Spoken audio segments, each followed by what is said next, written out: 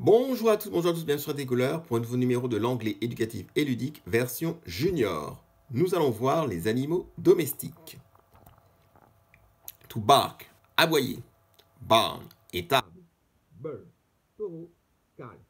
Veau, cow. Vache, dog. Chien, farm, ferme. Farmer, fermier. To feed, nourrir. Fox, renard. Fur, fourrure. Hen, poule. Horse, cheval. Kitten, chaton. Lambe, agneau. Mouse, souris. Parrot, perroquet. Pig, le cochon. Pigeon, pigeon. Pound, ma. Papy, chiot. Merci beaucoup. Bonne fin d'après-midi à toutes et à tous. Continuez de rester prudents. À vendredi